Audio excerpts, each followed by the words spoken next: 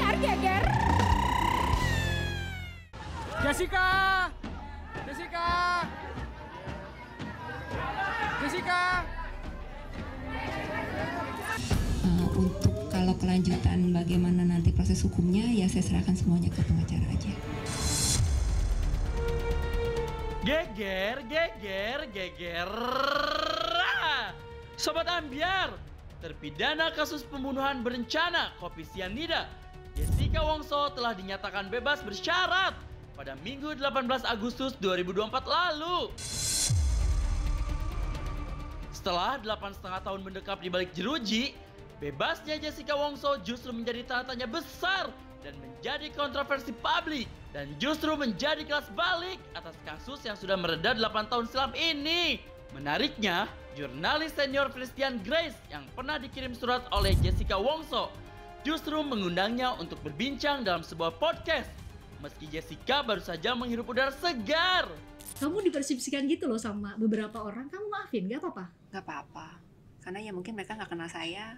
Jadi kalau nggak kenal ya mereka hanya mem- mengasumsikan kalau saya seperti itu hanya karena ya mungkin beberapa video atau beberapa apa yang mereka lihat terus mereka berbicara seperti itu ya itu juga haknya mereka sih untuk berpikir seperti apa. Tapi kan gak, gak gampang di dalam, Jess, 8 tahun. Lantas, ada hubungan apa antara Christian Grace dengan Jessica Wongso? Benarkah hubungan keduanya sudah seperti teman pada umumnya? Kita kupas langsung yuk hanya di pagi-pagi ambiar geger.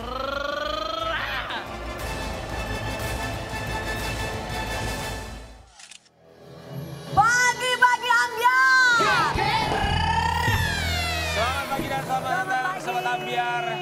Dan itu dia kita membuka perjumpaan dengan bebas bersyaratnya seorang Jessica Kumala Wongso mendapatkan gerasi di tanggal 18 Agustus kemudian juga remisi 58 bulan 30 hari. Pro dan kontra termasuk juga mendapatkan perhatian dari netizen di seluruh Indonesia. Itu berarti di hukumannya berapa tahun? 8 ya? Yang artinya 8 8 Oh, delapan tahun tahun dari dikurangi. 20 tahun vonis yang ia Ya. terima namun ia juga tetap wajib lapor sampai dengan tahun berikutnya. Tapi tentu saja kali ini juga kita akan hadirkan dari sisi lain di mana ada seorang jurnalis pernah kita undang juga dan dia begitu dekat dengan Jessica Kumala Wongso dan kemarin juga berhasil bertemu dengan Jessica selepas ia keluar dari lapas perempuan Pondok Bambu. Kita akan mencari tahu apa yang sebenarnya terjadi dan apa yang ia ketahui.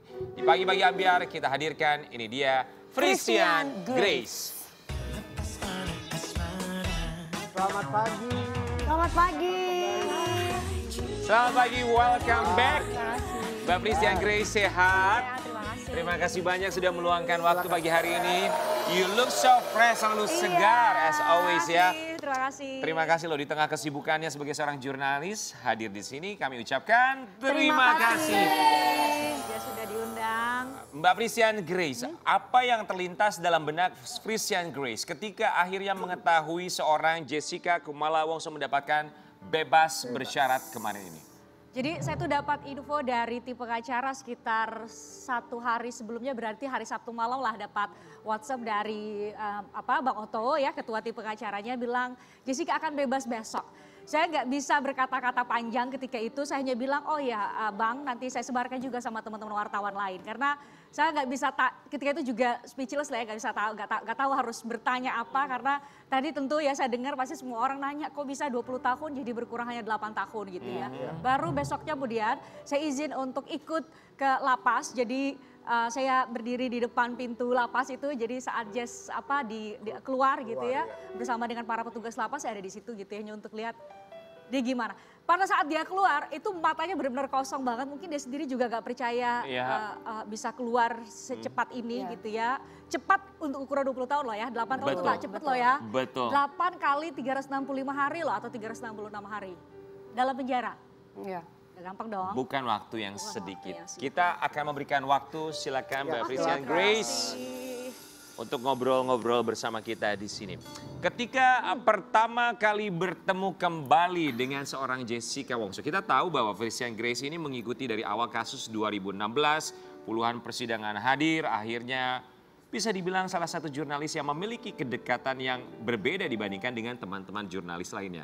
Apa yang disampaikan Jessica pertama kali ketemu lagi dengan Mbak Frisia Grace? Sebelum pertanyaan itu saya mau ini dulu deh, definisikan dulu punya kedekatan yang berbeda gitu ya. Ya. Karena menurut saya uh, itu justru adalah bagian dari tugas sebagai jurnalis ya. Uh, ketika itu untuk ngasih kesempatan kepada uh, cover both side namanya prinsipnya ya. Jadi Ya. mau orang bilang itu udah salah, mau orang bilang begini dan lain-lain itu kita kita punya tugas sebagai jurnalis Ya. untuk tetap memberi Netral ya. kesempatan. Ya. Betul.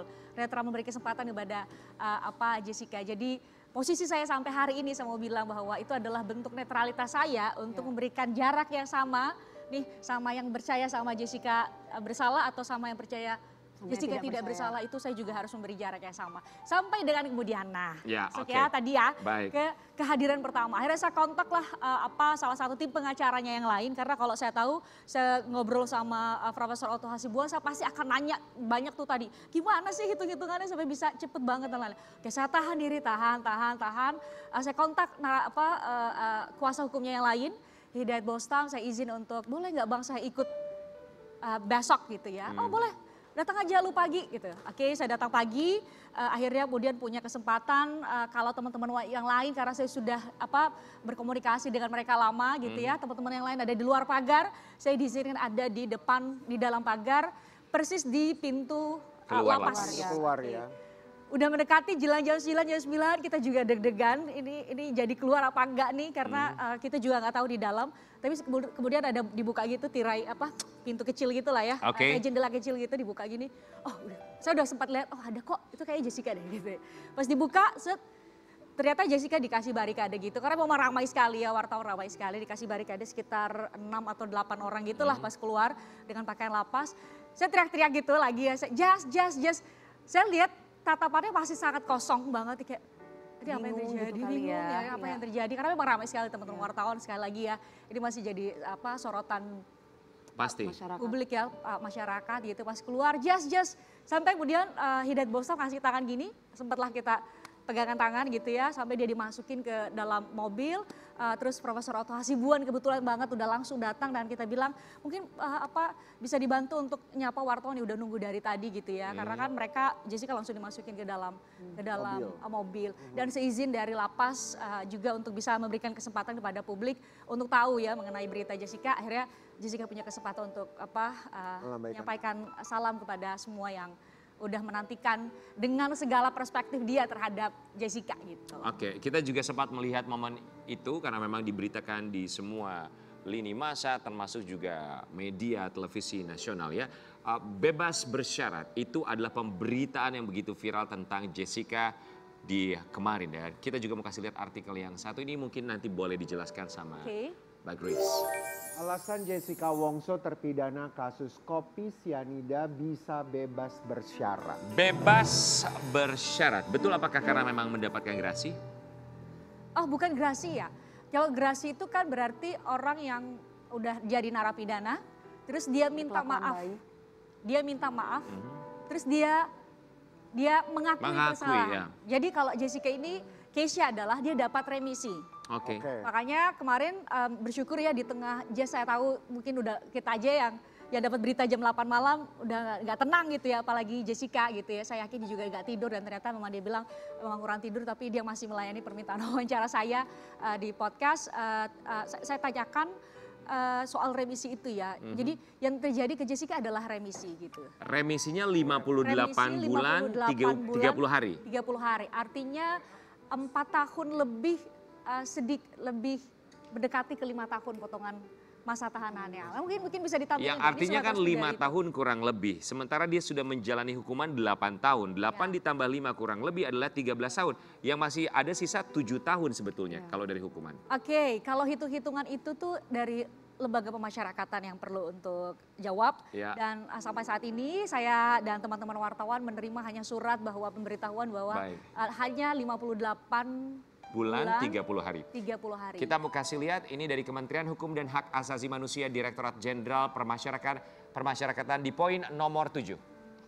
Oke, sebelumnya selama menja- menjalani Menjalani pidana, yang bersangkutan telah berkelakuan baik berdasarkan sistem penilaian pembinaan narapidana dengan total mendapatkan remisi sebanyak 58 bulan 30 hari. Maksudnya berkelakuan baik itu maksudnya gimana? Nah itu bagus ya pertanyaannya Mbak Dewi ya. Jadi ingat nggak saya hadir sini juga pas Mhm. Netflix ya. em, saya eh, di Netflix itu bilang di dokumenter itu bilang bahwa saya melihat sisi Jessica yang lain dari apa yang disampaikan sama eh, dari hasil asesmen para psikolog. Saya nggak mau berdebat sama para psikolog nih, Ya. tapi saya hanya mau mengatakan bahwa apa yang saya alami dan saya eh, lihat sendiri eh, bersama dengan Jazz. Saya mau bilang kepada semua penonton kita untuk bisa membuka mata kita semua nih atau setidaknya men-challenge logika kita. Ini Jessica itu ada di dalam 8 tahun lebih loh. 9 tahun kalau hitungannya dari proses dia masih di polisi gitu di Iya. Polda Metro Jaya 9 tahun. Kalau dengan kalau benar nih asesmen dari para psikolog, dia punya kepribadian ini, dia punya kepribadian itu, nggak mungkin dia dapat remisi yang tadi kita tulisin 58 bulan 30 hari. Tadi jelas sekali ditulisin bahwa karena dia berkelakuan baik. Kalau benar artinya ini ada asumsi kalau salah. Karena ta- tadi udah jelas, berarti itu udah benar. Artinya penjelasan dari lapas adalah dia dapat 58 bulan 30 hari karena berkelakuan baik. Mhm. Artinya selama 8 tahun lebih loh dia di penjara berkelakuan baik. Karena Ya. kalau enggak itu nggak dapat remisi. Mhm. Karena kalau di penjara itu kamu tuh 24 jam loh di dipantau. Oke. Ya, Ya dapat pembinaan gitu ya. Artinya apa? Apakah ini membuktikan? Ini saya tanya lagi nih. Ya. Apakah ini membuktikan bahwa asesmen dari dari para psikolog dengan segala hormat kepada mereka eh, dengan segala mereka sekolah lama saya tahu sekolah lama untuk dapat eh, gelar sebagai psikolog untuk bisa tahu kita karakternya kayak gimana atau kepribadiannya kayak gimana. Tapi 8 tahun lebih seorang Jessica Wongso konsisten berkelakuan baik atau berperilaku baik sehingga oleh Dir- Direktorat Jenderal Pemasyarakatan dia dikasih hadiah atau award 58 bulan 30 hari. Baik, ini pertanyaan yang barangkali hanya mereka yang paham keilmuannya yang bisa menjawab dan untuk yang menyaksikan hanya bisa berasumsi termasuk kita juga ya. Tapi kita mau kasih lihat ini ada pernyataan dari seorang Jessica Kumala Wongso sampai dengan sekarang bahwa dia merasa tidak bersalah bahkan akan mengajukan PK kedua. Kita kasih lihat dia satu ini. Jis kamu tuh persisten banget ya. Jadi kita tahu gimana di penyelidikan, penyidikan kamu harus di salty, terus kamu jalani persidangan 32 kali kita bang, uh, Ya, persidangan 30 kali ya. Mm, uh, yang sangat panjang, berjam-jam dan kamu pasti juga ikutin gimana orang persepsikan kamu sangat buruk. Kamu persisten sekali sampai saat ini kalau orang lain Jess mungkin udah bilang ya udahlah gue ngaku aja salah. Sampai sekarang kamu nggak loh. Iya. Ya itu ya kembali lagi ke jadi jangan melihat rencana yang lebih jauh. Kalau menurut saya mah jalanin aja. Hari ini saya harus melakukan apa, besok harus melakukan apa. Nanti lama-lama ya kalau misalnya saya punya keyakinan seperti itu ya itu akan terus berjalan seperti itu gitu. Sebelum bertanya apa pertanyaan dan jawaban dalam podcast Ah. tersebut. Pertama kali, tadi belum sempat dijawab. Hmm. Apa, Ketika ketemu secara langsung, personal, face to face dengan Jessica. Apa yang disampaikan Jessica kepada Christian Grace? Eh, nggak ada. Saya hanya uh, memeluk aja, saya bilang welcome welcome back gitu ya. Eh, dan kejadian bisa ber- berkomunikasi langsung sama Jess itu kan keluar dari lapas, dari lapas Pondok Bambu, Pondok Bambu perempuan. Saya bisa dada-dada karena dia di barikade gitu ya, deketin mobilnya. Terus setelah dari lapas itu Jess dibawa ke namanya Kejaksaan Negeri Jakarta Timur. Adalah banyak apa administrasi lah ya biasanya. Eh, kalau ini. Saya diizinkan untuk masuk ke dalam ya. Saya diizinkan sama masuk ke dalam oleh eh, apa tim kuasa hukum. Ada saya bisa Jas ya dibawa masuk oleh petugas. Terus saya bilang Jas ah, ah, welcome home ya saya bilang gitu. Eh, saya eh, apa ucapkan selamat. Terus dia mungkin sibuk sekali ya memang karena harus banyak tanda tangan berkas-berkas gitu ya.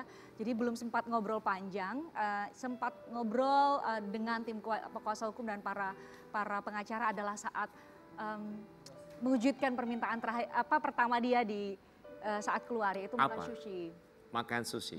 Oh. di sebuah restoran eh, restorannya adalah eh, kebetulan milik dari apa namanya dari eh, Prof Otto Hasibuan ya jadi eh, apa eh, itu permintaan pertama Jazz gitu ya jadi ya kita makan sushi Saat momen makan sushi, apa kalimat-kalimat dari Jessica yang tidak bisa dilupakan oleh seorang Christian Grace?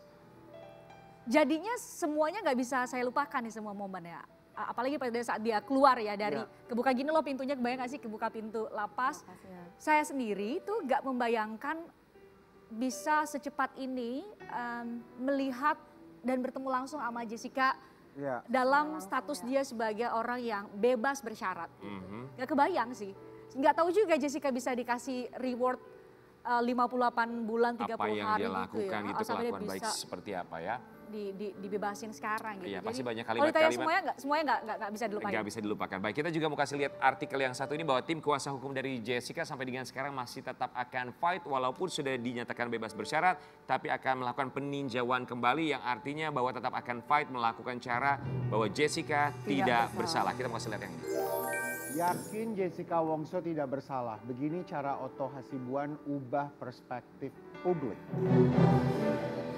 Kalau ada pertanyaan dari publik seperti ini, ini kan kalau misalnya mau mengajukan PK, artinya ketika ada pengajuan PK dia tetap kekeh bahwa saya tidak tidak bersalah. bersalah. Tapi ini akan menjadi terbalik kalau ada pertanyaan dari publik. Apakah melihat penyesalan atau barangkali yang disampaikan oleh Jessica ketika dia bebas kemarin?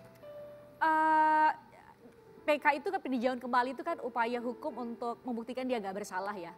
Jadi uh, kemarin saya juga sempat nanya lah ke Jas, Jas nggak nggak Pak Jas dan juga Bang Oto ya, apa kita kita uh, apa sudahi aja lah Cooling panjang down sekali gitu ya, ya. sudahi aja. Uh, saya tanya juga ke Bang Oto, Bang ini memang masih mau lanjut terus PK-nya. Toh Jasnya sudah ada di luar, Luar, gitu ya. ya. Uh, tapi poinnya ternyata bukan itu ya, dan itu juga yang um, apa uh, uh, saya sempat tanyakan kepada Jas. Poinnya adalah bukan dapetin lagi kemerdekaan dia dia bisa keluar, tapi poinnya adalah harus membuktikan bahwa ia tidak bersalah karena menurut Jas itu penting sekali dan kita semua tahu bahwa kalau kamu tuh embel-embel terpidana sepanjang hidup kamu tuh tidak akan seperti orang pada umumnya. Stigma berarti mengembalikan nama baik, itu yang dicari. Itu poinnya, betul. Itu Oke. poinnya. Karena kan sampai saat ini saya bilang ya, mungkin per- pernah dengar ya, Jessica sendiri sebenarnya Profesor Otto Hasibuan sebenarnya udah nawarin Jess, Jess sudahlah kita minta ke presiden, kamu minta maaf ya. Apa syaratnya? Kan Profesor Otto Hasibuan selalu Mengakui ya. gitu. Ngakuin kesalahan, oh enggak deh, saya lebih baik ada di dalam daripada Dia tetap kekeh ya. Oke baik, kita juga mau kasih lihat ini ada satu sta- statement dari seorang Jessica Kumala Wongso. Usai bebas, Jessica Wongso terang-terangan bicara ketidakadilan. Banyak yang diperlakukan tidak adil. Ketidakadilan. Ketidakadilan Ini itu pada ketika- akhirnya membuat kita bertanya ketidakadilan di mana? Apakah dalam sistem pengadilan? Atau Apakah ketika ada di dalam. di dalam lapas? Eh, karena saya yang nanyain pertanyaan itu ke Jas di podcast itu, jadi kalau saya menangkap dari jawaban Jas, ketidak, ketidakadilan yang dia maksud adalah pada vonisnya. Karena pada kan dia merasa dia Dari tetap awal ya. tidak bersalah, dia tidak pernah uh, melakukan apa yang dituduhkan, sehingga kemudian putusan ini dan 8 tahun, hampir 9 tahun hidupnya ada di dalam penjara itu adalah bentuk ketidakadilan Mhm. gitu ya. Jadi tapi saya justru amazed sama Jas kalau diikutin terus tuh podcast ya. Saya itu malah jadi kayak provokator ke Jas. Serius kamu nggak sakit tadi kan dia bilang gitu ya. Saya memaafkan semua orang yang membuat saya uh, ada dan menjalani selama 9 tahun ini. Saya pas podcast kamu yakin Jas? Gila udah masuk penjara. Kamu dan di penjara itu nggak mudah gitu ya. Iya. Eh, kita aja dalam di luar penjara masih mengalami kesulitan-kesulitan hidup gitu ya. Apalagi di dalam penjara. Kamu yakin? Yakin dia bilang gitu ya. Justru uh, ternyata dari cerita Jas di wawancara itu juga itu adalah bagian dari cara dia untuk berdamai dengan keadaan. Bayangin dalam perspektif dia ya, dia tidak bersalah dan kemudian harus jalanin uh, kehidupan. Terakhir tuh Jas uh, apa cerita juga di apa beberapa wawancara ya bahwa dia di dalam penjara dan dia harus berbagi kamar dengan teman-teman yang lain. Mhm. Hmm, itu bayangin gak sih kita punya kamar sendiri aja di rumah tuh belum tentu lo nyaman sama kamar lo. Apalagi, lo harus berbagi betul. dengan ya. Menerima dengan keadaan pun dia berkata ada kalimat bahwa dia sudah memaafkan. Iya. Memaafkan siapa? Menurut Christian Grace. Sama lah pertanyaannya kita ya. Kamu maafin siapa? Semuanya bayangkan. Bahkan di podcast itu saya sebut satu-satu. Siapa? Yang ini kamu tau nggak dia cerita begini-begini? Kamu tau nggak dia cerita begini-begini? Enggak, nggak apa-apa. Em, menurut saya tadi bagus ya. Tadi dicuplik bahwa mungkin menurut saya eh, itu asumsi mereka karena nggak kenalin saya. Makanya tadi di bagian akhir apa podcast itu dia bilang bahwa coba deh mungkin kita harus ketemu dan ngobrol dulu sehingga kemudian baru setelah itu kalian nilai saya seperti apa. Baik, kita juga mau kasih lihat ini ada ungkapan dari Jessica Kumala Wongso saat dinyatakan bebas bersyarat. Selamat siang semua teman-teman wartawan. Terima kasih udah hadir di sini. Semoga nggak ada yang cedera ya karena ramai sekali. Em, saya hari ini bersyukur karena sudah bisa keluar dari lapas dan em, bertemu kembali dengan keluarga dan teman-teman dan ini pengacara-pengacara yang sudah seperti keluarga untuk saya. um, maaf saya gugup banyak banget orangnya um, untuk um, pendukung-pendukung saya yang hadir hari ini terima kasih banyak udah meluangkan waktu untuk ketemu di sini um, semoga semuanya selalu sehat dan baik-baik aja terima kasih Gugup, nervous, wajar lah ya. Iya. Banyak banget wartawan coba deh. Kamu udah jadi presenter lama banget kan. Kalau ketemu dengan banyak orang, kita aja nih jadi presenter sama-sama ya jadi Manusiawi ya, presenter. Eh, manusiawi banget. manusiawi. Oh itu Apalagi depannya pernah udah ketemu masyarakat kan. Udah lama gak Berarti, ketemu eh, banyak orang ya. Tidak Oke. pernah adaptasi yang langsung. Mbak gitu kan. Frisian Grace, uh, kalau menurut Frisian Grace yang mengikuti kasus ini dari dulu sampai dengan sekarang pun mengenal sedikit banyak mengenai Jessica, apa sifat dari dia yang berubah dan yang tidak berubah? Em, saya kayaknya rasa-rasanya nggak punya kapasitas menjawab itu ya. Tapi setidak-tidaknya saya mau disclaimer duluan bahwa ini penilaian saya berdasar dari ketemu dia di 2016 lalu gitu ya. Uh, saya udah lihat dia sebenarnya uh, ya diasumsiin sama publik tuh dia nggak nangis, dia tegar dan lain. Dia udah cerita juga di 2016 bahwa itu dari bagian dari dia untuk nggak bikin keluarganya dan orang-orang di sekitar dia bersedih. Dan tahun 2024 ini malah saya tuh pas wawancara dan pada saat ngobrol di luar itu kan saya nemenin makan siang bersama tim pengacara juga um, saat atau sebelum konferensi pers saya juga uh, bersama Jazz.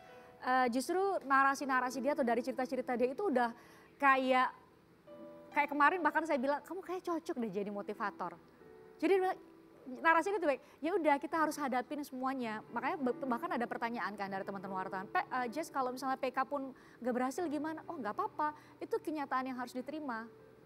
Jadi penerimaan, menurut saya ya 2024 ini seorang Jessica Wongso udah sampai di titik menerima keadaan apa pun tuh udah paling level paling dewa deh, paling tinggi. Berdamai, Berdamai dengan Berdamai keadaan. dengan- Itu yang barangkali tidak semua orang bisa melakukan, hanya bisa melakukan ketika ketika menghadapi kondisi tertentu dan kondisi itulah yang dihadapi oleh seorang Jessica. Makanya saya bilang kayaknya itu deh yang bikin dia tuh nggak punya wrinkle apa kerutan-kerutan untuk ukuran usia dia. Karena dia Kulitnya masih mulus banget. Karena, Karena dia, menerima dia keadaan. yoga, dia banyak aktivitas uh, meditasi di dalam. Oke, kemarin juga banyak pertanyaan dari teman-teman media, apakah Jessica Kumala Wongso akan mengunjungi makam Ina Salih? Kita mau kasih lihat juga. Bebas bersyarat, Jessica Wongso bakal kunjungi makam Mirna Salih. Sempat cerita, Jessica? Uh, di hari um, sampai kemarin pun dia selalu bilang bahwa kegiatan nanti aja ini dia nggak tahu. Ya, bahkan saat ini dia masih dalam dalam dalam situasi yang benarkah Masih bingung ya? Keluar. gue udah di luar gitu ya. Iya. Uh, jadi pas ditanya uh, teman-teman wartawan juga bisa lihat ya pada saat press conference itu kan ada juga wartawan yang nanya, kamu mau ngapain setelah ini? Em, apa mau kegiatan? apa?" Waduh, saya juga nggak tahu ya. Bener-bener blank banget dia bilang gitu kan. Uh, apa dia bener-bener blank banget. Nah ditanya lagi apa rencananya ya kayak enggak deh. Mungkin sekarang masih baru dapat handphone pertama kali dan uh, apa dengan merek tertentu. Jadi kayak dulu tuh pas 2016 mereknya masih ah, mereknya sama tapi mungkin eh, belum secanggih sekarang jadi kayak kayak buat swipe aja dia tuh udah eh, sibuk sekali jadi mungkin beberapa hari itu apa berusaha untuk adaptasi, sama handphone baru. Itu berarti memang menjelaskan bahwa di sana dia tidak pegang handphone ya. Kita tidak bilang bahwa banyak atau sedikit yang memang uh, melanggar aturan, tapi di sini menjelaskan bahwa memang dia tidak pegang handphone sama, Nah, sama sekali. Pertanyaan tadi bisa di, di ini lagi bisa terjawab dong dengan nggak pernah ngelak. Oke, tadi kan apa lapasnya bilang uh, Jessica itu berperilaku baik. baik. Ya. Berperilaku baik itu salah satunya adalah dengan nggak pernah bikin pelanggaran. Salah satunya adalah dengan ketahuan megang handphone atau Betul. megang handphone gitu ya. Artinya terbukti dong selama ini Dia nggak dia ada ngerti. megang handphone. Iya. Karena dia nelponnya pun katanya selalu le- le- lewat wartel dan saya tanyakan kepada tim kuasa hukum termasuk Hidayat Bostam yang terus menerus kontak sama dia. Antri tetap sampai dia bilang udah hafal banget nomor telepon orang-orang karena dia harus pakai itu loh telepon yang di Wartel, ya. yang ada masih ada Ya, zaman dulu itu ya. Nomornya itu itu ya no- 0821 nomornya gitu ya. sekian sekian sekian gitu loh. Baik, terima kasih. Ini kita juga mau kasih lihat, mungkin ada alasan kenapa dia semakin glowing, sempat di-spill sedikit tadi sama Christian Grace. Transformasi Jessica Wongso saat pertama di penjara versus setelah bebas. Kini makin glowing. Ada salon kan kalau di lapas perempuan itu? Oh iya. Ada salon.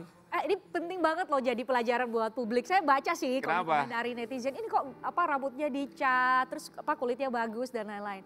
Kita harus me- mengapresiasi negara kita ya bahwa judulnya tuh bukan penjara loh. Judulnya itu adalah lembaga pemasyarakatan. Jadi ketika kamu ditahan di sana, kamu tuh sebenarnya mau dimasyarakatkan. Jadi jangan bayangkan mereka tuh benar-benar di apa eh, apa namanya di dalam ruangan. Tapi coba untuk dibikin tuh belajar eh, Jazz aja tuh nggak ngajar bahasa Inggris. Ya. Um, dia membantu administrasi di lapas, gitu. Kerajinan. kerajinan tangan dan lain-lain. Ya. Ada salon. Jadi negara kita ini Indonesia masih menghormati hak asasi manusia setiap orang yang walaupun oleh hukum tuh diputus bersalah gitu. Oke, Itu baik. Keren banget sih buat negara Betul, kita. kita juga masih lihat ya ini komentar netizen sampai akhirnya mereka melihat kok semakin glowing gitu seperti terawat seorang Jessica. Di lapas ada salon ya, rambutnya bagus Iya, banget. betul. Betul betul Itu ada, ada, ada, ya. ada, Oke, ada. kita next kita coba baca yang berikutnya. Salfok sama rambutnya lebih bagus yang di dalam lapas. Ya, Di, dalam penjara bisa warnain rambut ya Jess. uh, bisa karena ada salonnya? Ada ma- ma- mau coba? Oh, enggak, enggak. Saya udah sendiri. Eh, siapa tahu mau coba kan? Mau coba salonnya di Ya dalam mau coba lapas. salon ya maksudnya kan as a visitor siapa tahu bisa kan? Coba skill dari orang yang di salonnya. dong. Ya, berarti berarti orang-orang yang ada di dalam penjara itu eh, yang jadi hairdo-nya segala macam juga orang-orang yang bermasalah juga ya atau orang-orang yang Pernah punya masalah hukum maksudnya. kan ya? nggak mungkin orang luar kan? Eh, ya saya nggak pernah konfirmasi itu, tapi kayaknya tetap punya skill yang bagus ya. Rata-rata masih apa eh, bagus kayaknya rambut. Ya rata-rata memang mereka yang berada di Oke, lapas ya, tersebut ya, ya. diberikan Cakep skill, gitu ya. di, uh, memberikan Iya. negara memberikan fasilitas mereka untuk belajar. Tapi kita juga mau kasih lihat ini ada satu bukti atau juga fakta yang kita temukan yang disampaikan oleh Bang Oto Hasibuan. Pengacara Jessica Wongso klaim temukan bukti baru yang disembunyikan seseorang. Nah, tanggapan soal ini gimana? Wow. Uh, Mbak Christian Grace, apakah gini ya, maksudnya kita tahu bahwa komunikasinya begitu intens antara Christian Grace dengan tim kuasa hukum uh, dari seorang Jessica Kumala Wongso. Ya netralitas pasti ada, tapi apa sih yang diketahui sedikit aja? Soal apa? Soal bukti baru Bukti itu ya? Bukti baru. Eh, bukti barunya kayaknya PK-nya terakhir katanya masih diketik gitu ya. Eh, saya coba tanya ke Profesor Otto Hasibuan dan tim kuasa hukum yang lain kira-kira apa eh, novum atau keadaan baru saat ini yang bakal di, eh, di- dibuktikan di PK nanti masih belum di-spill nih. Oh, masih belum di-spill ya? Karena masih diketik gitu ya, masih Ah. diketik sama ini, masih dirapiin gitu ya. Eh, eh, mudah-mudahan dalam waktu dekat dan yang punya hak dan punya wewenang untuk jawab itu sih tim pengacara ya. Ya. Kalau kita mungkin kita juga berharap ada peninjauan kembali sehingga kemudian Mahkamah Agung tuh bisa lihat ini beneran gimana sih sebenarnya kasus ini ya nggak? Kita semua punya pertanyaan itu ya, gimana sih sebenarnya eh, cerita dari kasus ini gitu ya. Eh, Sehingga kemudian juga ada kepastian hukum buat semua pihak. Gak hanya buat Jessica tapi kita harus ingatkan juga buat keluarga korban Mirna Salihin supaya semakin kita tahu sebenarnya penyebab matinya dari eh, putri beliau ya, anak sayangan beliau itu juga apa. Itu perlu banget sih. Oke. Oke, di luar dari di luar dari kakak seorang presenter apakah Sweet kakak, dulu Ya, sweet dulu. iya iya iya. iya. di luar dari kakak seorang presenter apakah kakak merasakan bahwa eh, salah satu orang yang tidak percaya bahwa Jessica tidak bersalah? Saya, Ya. Saya Nah, nggak itu pertanyaan saya. Tadi saya kita mau tutup dengan itu. Dilepas dari Dilepas dari status seorang jurnalis. Karena Jurnalis. karena tadi sebelum kita Ya. mulai aku sama Dewi sempat yang bilang bahwa ini misteri sekali. Ya, Ya dong sampai ada di Netflix dan lain-lain. Oke. Tapi termasuk yang Apakah salah Mbak Grace melepas statusnya sebagai Statusnya seorang sebagai jurnalis, jurnalis. sebagai seorang perempuan, betul. sebagai seorang yang punya, ya kita tahu bahwa luar biasa sekali apa yang dilewati Grace dengan segala macam pengalamannya. Tapi mari kita lepaskan status jurnalis sebagai seorang perempuan, melihat dari awal sampai dengan sekarang tentang kasus ini. Eh, sebagai profesional satu sebagai profesional saya menghormati putusan apa pengadilan ya Eh, dia tetap dinyatakan bersalah Eh, bagaimanapun kita tetap menghormati proses hukum kita sebagai se- personal secara personal saya tidak dalam kapasitas untuk tanya ke Jess kamu beneran salah atau enggak saya dalam kapasitas untuk Terima kasih udah memberi kesempatan ke saya untuk berada lebih dekat dibanding dengan teman-teman sejauh saya yang diberi jarak gitu ya, teman-teman wartawan dan uh, sejauh ini uh, apa komunikasi tetap jalan. Jadi saya gak dalam konteks nanya tuh deket-deket lagi sekarang ya setelah 2024. Kamu salah atau enggak sih? Udah nggak nggak seperti itu lagi. Tapi uh, apa Jazz punya punya uh, apa punya sikap dan punya punya keinginan untuk untuk membuktikan dirinya Tidak. nggak salah karena memang menurut dia itu tidak salah. Sebagai orang yang ada di sekitar dia dan diizinkan untuk berada dekat dan berkomunikasi langsung, saya dalam posisi untuk menghormati posisi apa apa sikap Jessica apa pun itu eh, karena ya biasa saja saya bisa ngobrol dan lain-lain. Kita tunggu hasil dari peninjauan kembali kayak gimana sih. Berarti belum ada jawabannya, berarti kakak sendiri tidak Sampai detik ini saya belum ada jawabannya dan menurut saya Belum saya ada perlu- keyakinannya dong berarti. Kalau keyakinan saya nggak dalam kapasitas untuk meyakinkan. Kalau keyakinan itu saya akan menyelidiki Jessica-nya gitu ya. Enggak, enggak, enggak. Saya Baik. mau mau gambarin konteksnya seperti itu gitu ya. Oke. Baik. Baik. Christian Grace, terima kasih banyak. Kita akan kembali sesaat lagi. Tetap di Pagi.